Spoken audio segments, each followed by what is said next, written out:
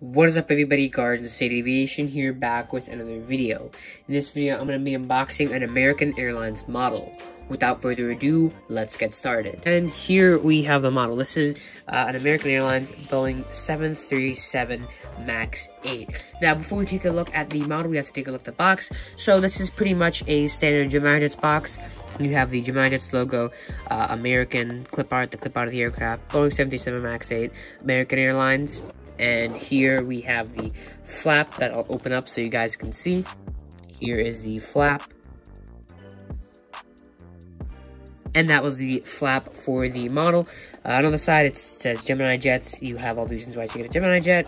Uh, general information on the sides of the box, and on the back you have the model, all the social media liability stuff, and of course this model is a 2021 release, as you guys can see. So, uh, yeah, now that we've taken a look at uh, the box, let's open it up. Now, obviously, this is just standard Gemini Jets packaging. Obviously, you just have the, uh, you have the plastic tray, which is very tightly done. And, okay, here we're taking the model out of the box. The model does appear to be intact. All the wings, all the wings, the engines, the tail, the landing gear, uh, everything seems to be good. Okay, no, it's just a little bit of a white grime on the wing. But other than that, the model uh, does appear to be in good condition. But uh, yeah, now that we've uh, unboxed the model, let's go to the detail segment. Starting off with the detail segment, for this American model, we have the cockpit windows, forward landing gear with the ETOP certification on the landing gear doors, L1 door, tiny One World logo, American titles, and continuing on down the fuselage, we have the emergency exits, an antenna, Wi-Fi hub slash HUD, another antenna, the American flag, the registration, which is number 324 Romeo November and 324 RM. Uh, we have the L2 door and the American tail. And there's nothing on the uh, American winglets.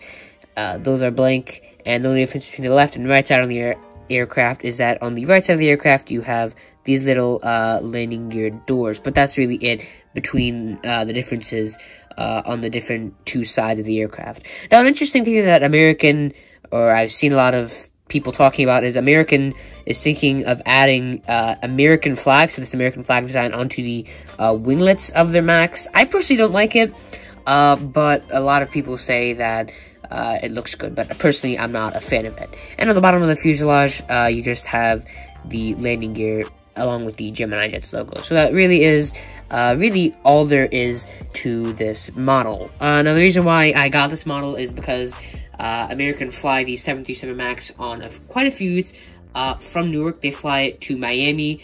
They interchange that with the 737-800. They fly it to Dallas, occasionally Chicago, and they have uh, service to Phoenix on it. But um, yeah, just before the outro, one more thing. Uh, the wings are level on this model and look pretty well, as well as the uh, fan blades inside the engines, as you guys can see. But yeah, overall, this is a really well done model by Gemini Jets. The 77 Max 8 mold is probably one of, if not their best mold at current. That being said, that does conclude this video. If you guys like the video, please like, subscribe, and hit that notification bell so you see my videos, and comment down below what you got from the September, October 2020 releases from Gemini Jets. Once again, thank you for watching this video, and I'll see you guys in the next video. As always, goodbye.